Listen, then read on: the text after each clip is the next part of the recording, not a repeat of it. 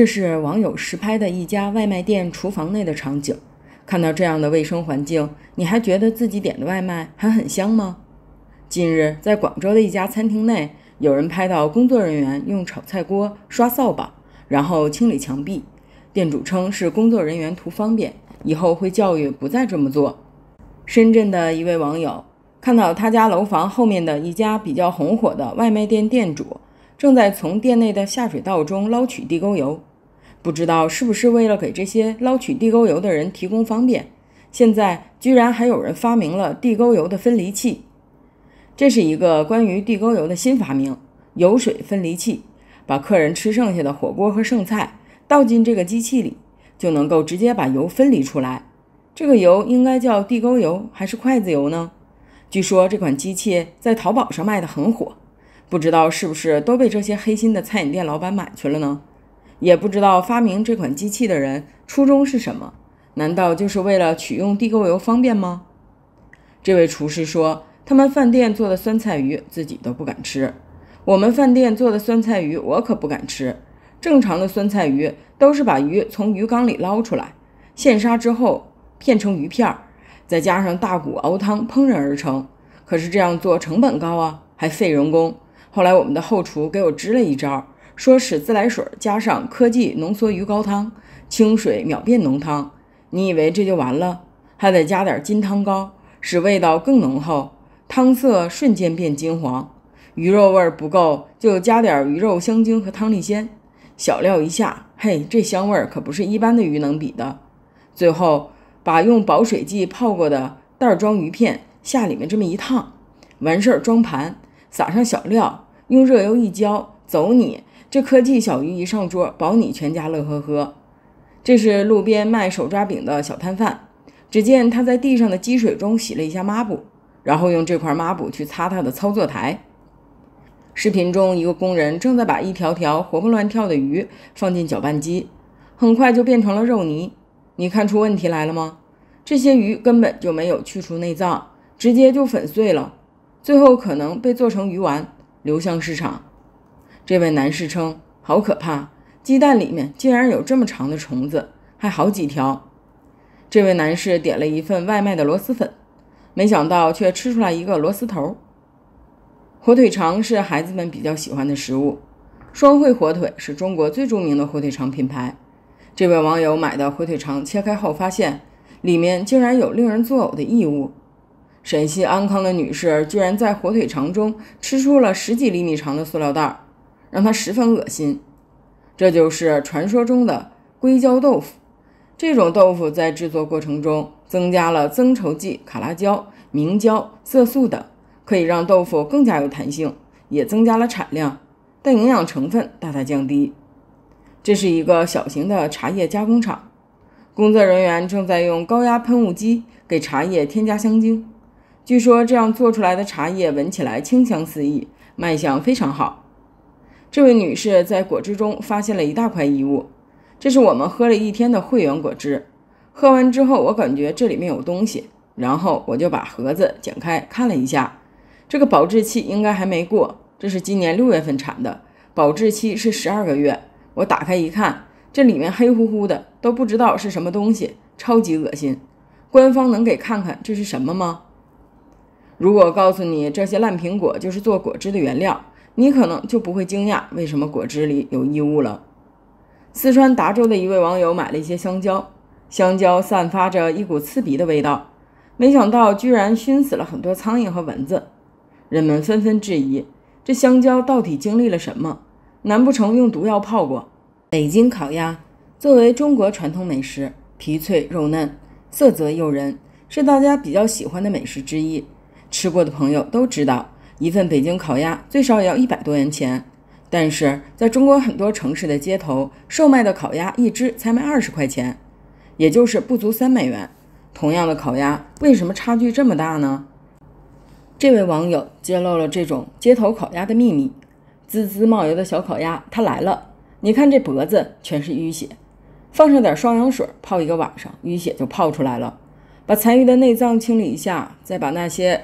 残的厉害的挑出来，这基本上是处理原材料的第一步。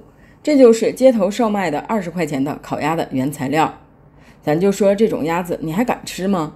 尤其是外面那种二十几块的鸭子，正常的鸭子怎么也得养个五六个月才能出栏吧？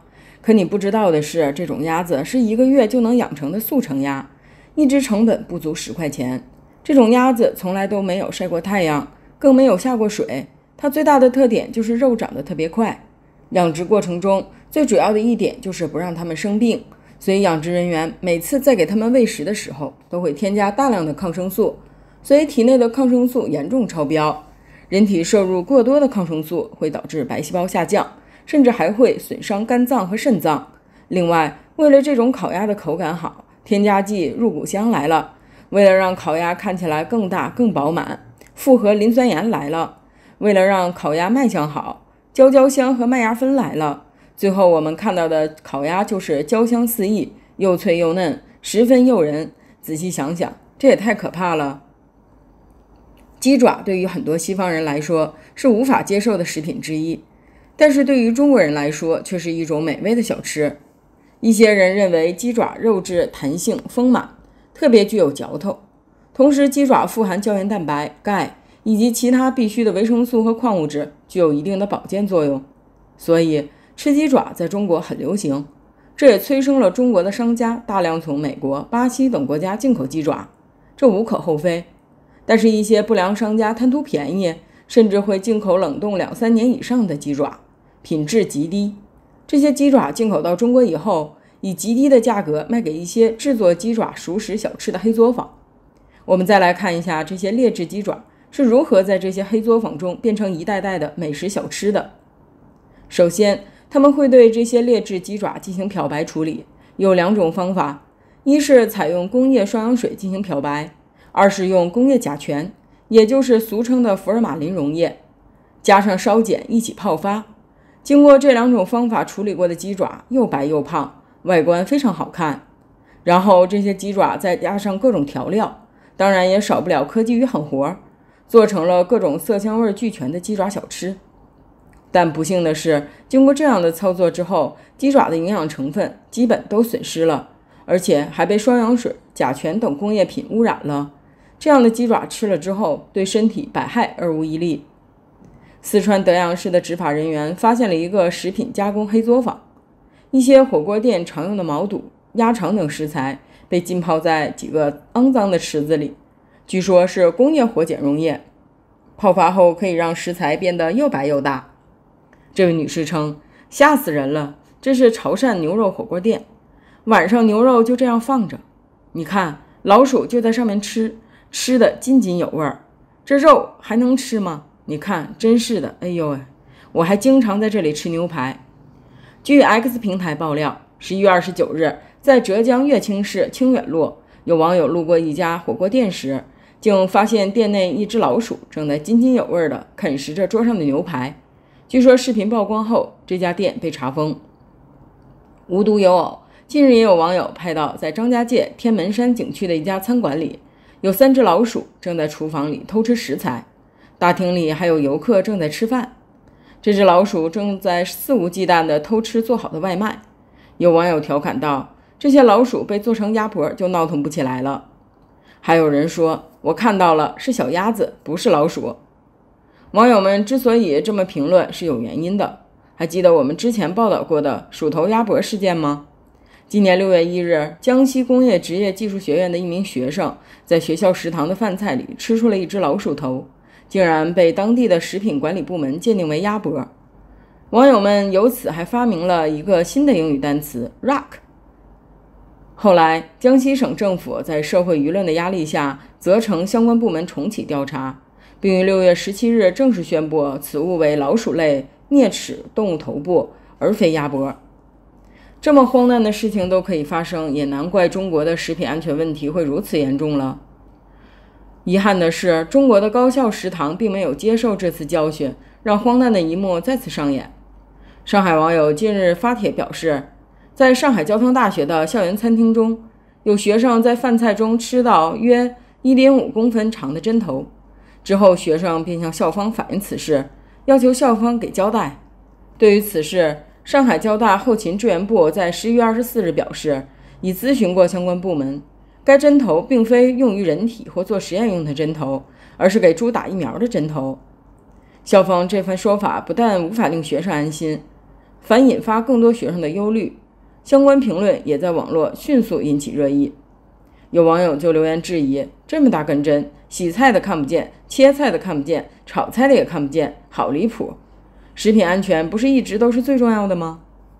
七月十七日，有同学在广州华视外语艺术职业学校食堂就餐时，在烤鸭中吃出疑似橡胶异物，怀疑是避孕套。当晚，校方工作人员作出回应称，经初步调查，该异物系鸭子的眼球膜。校方已将相关样品保留，并向家长和学生说明了此事。七月十九日上午。广州增城发布了该事件的通报，声称邀请专家到第三方检测机构的实验室，经形态及红外检测、成分检测对比，确认为鸭子的眼球膜。还要求广大网民以权威发布信息为准，不信谣、不造谣、不传谣，共同守护清朗网络环境。在权威部门的认定下，该事件不了了之，人们只能再次看着所谓政府权威部门众目睽睽之下公然撒谎。而又无能为力。网友对此分析说：“是鸭子眼球膜，真是有点扯。这么大的学生了，不可能连鸭子眼球膜和避孕套傻傻分不清楚吧？记得上次直属为鸭的事，过去也就半个月，现在又出了个更荒唐的，真是让人大跌眼镜啊！”也有网友评论说：“今年的鸭子可真忙，之前说老鼠头是鸭脖，现在又来拿鸭子说事儿，鸭子怎么这么倒霉？什么都绕不开它。”其实。出现问题，及时承认错误，改正就行了。为什么死不认账？都存在侥幸心理，想蒙混过关，好好把食堂的卫生抓紧搞一下，比什么都强。你知道吗？在中国，面粉也造假，而且是多年前就已经开始做了。有的面粉厂会掺滑石粉，也有的是掺钙粉，也就是石灰粉。据说在磨小麦的时候，同时掺进去能把小麦粉增白。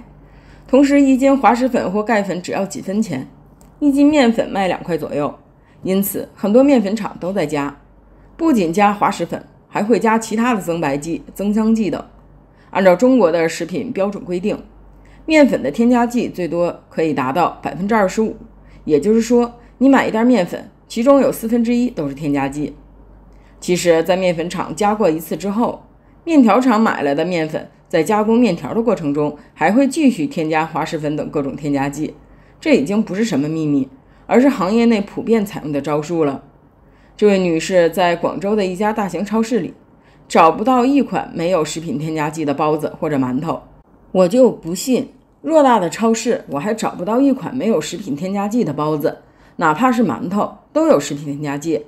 这么多添加剂，我都看不懂，我就不信找不到。天啊，就这一款我们最喜欢吃的，也都是有很多添加剂，真的是很无奈啊。我儿子超喜欢这款，以后不能买了。基本上都是一样的。这款馒头，看看配料表，也是有添加剂，窝窝头也有。这个更离谱了，我的妈呀，好几十种！天哪，密密麻麻，全部是配料，这么多，整个超市我居然找不到一款没有食品添加剂的包子，真是悲哀啊！近日，一则脚踩葡萄干的视频引爆大陆网络，视频中可见。大堆的葡萄干摊在地上，一位农民光着脚踩在葡萄干上干活。这张图片曝光后，立即引发网友激烈讨论。不少网友表示惊恐，直言吃葡萄干从来不洗。还有网友评论说：“我一直用葡萄干泡水喝，原来喝的都是洗脚水。”其实，这则视频是四川一位农民在分享自家葡萄干的优质制作过程，却意外拍到了工人脚踩葡萄干的画面，引发了公众对食品卫生的担忧。面对网友的质疑和疑虑，尽管涉事农民一再强调他的葡萄干经过严格的加工程序，生产过程中使用高压水枪，并采用快速干燥和紫外线杀菌，以确保产品的卫生标准。不过，这一回应并不能完全打消舆论的疑虑，很多人还是表示以后不想再吃葡萄干了。其实，用脚踩方式加工食物并不新鲜，比如茶叶的加工。这是近日网友拍摄的茶农制作铁观音茶叶的过程。茶叶的制作过程中有一个步骤叫做揉茶，揉茶的目的是破坏茶叶的细胞，让茶叶的汁水流出来，这样泡出的茶才会更香。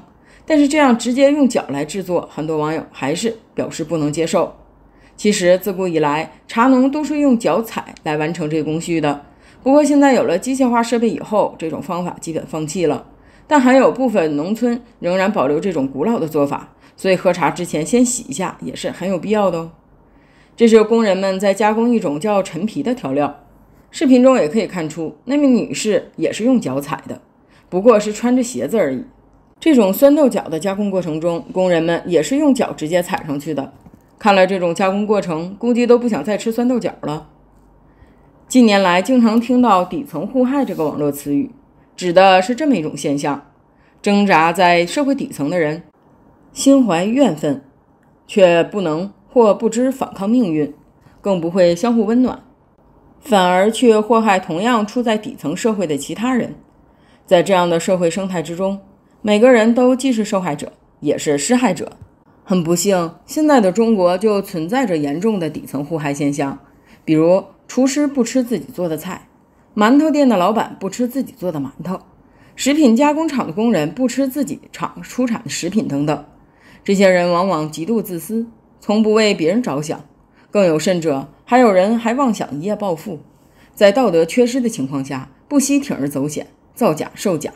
殊不知，如果大家都这样做，而又缺乏有效的监管，那结果就是整个社会都会处于一种危险无序的状态下，结果必然是害人害己，谁都不能幸免。